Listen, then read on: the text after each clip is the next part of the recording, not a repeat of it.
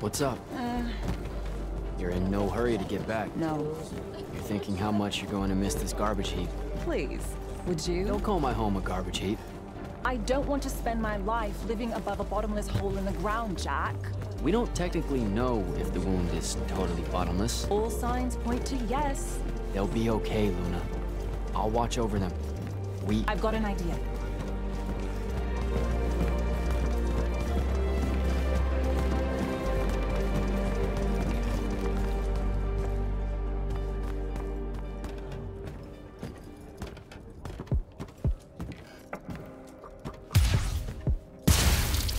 Target practice?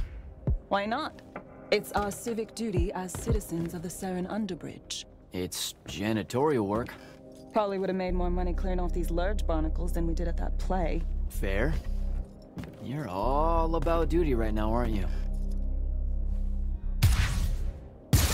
Nice. You'll make a good soldier. I hear they give better uniforms to the Lightless that can summon a little magic like this. There's a war, Jak. It's not about the uniform.